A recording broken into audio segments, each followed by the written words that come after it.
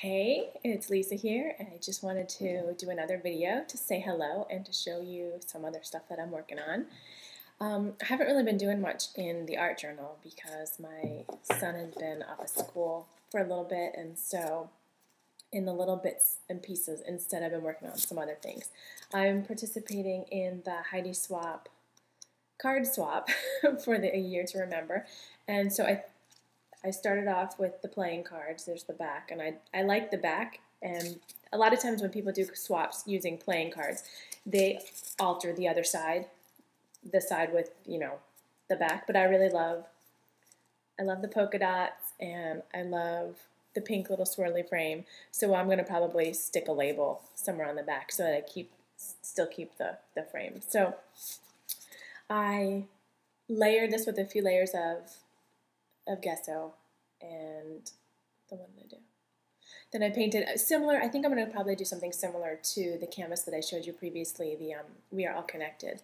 So the only thing different that I did was after I put on the pink and the uh, the raspberry sorbet paint, I stuck part of a sewing pattern that I just ripped real casually. Like this one doesn't even have any print on it.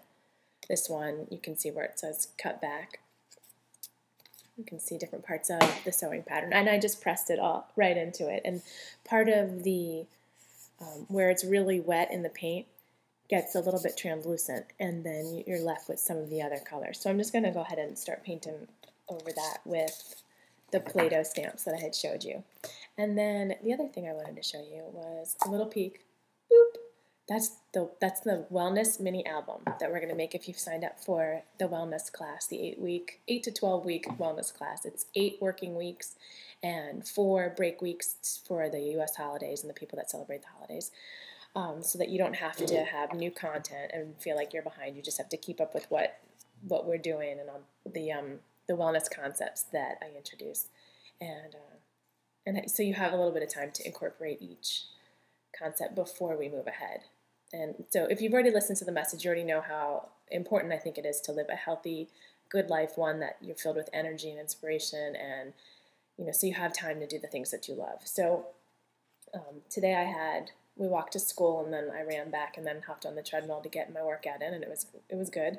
I felt a little more tired than usual. That that's because I haven't been able to um, get my full eight hours. I love sleep. I need sleep. If you took my Daily Essentials class, you know that sleep was one of those things that are that are in there on the Daily Essentials for my for me.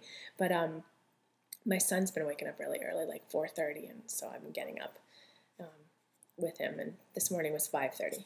So I just wanted to show you. Instead of doing an art journal page, I've been doing some painting, and this started off as um, same canvas, 8 by 10 as before and I glued on a piece of, I ripped out a piece of my phone book. Hopefully, we don't need the RO section because that's the page that I grabbed.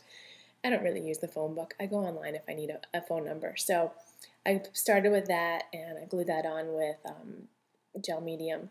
And then I just painted over it and I wiped away the paint a little bit to get through to some of the places so that it looked a little bit more worn. So like there, you'll, you'll be able to see it.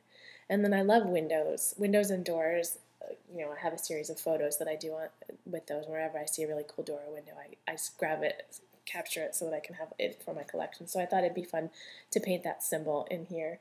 And then, um, so I've started on my princess fairy because we've been reading a lot of the fairy books, so I have fairies on my mind. And um, so she has curly hair.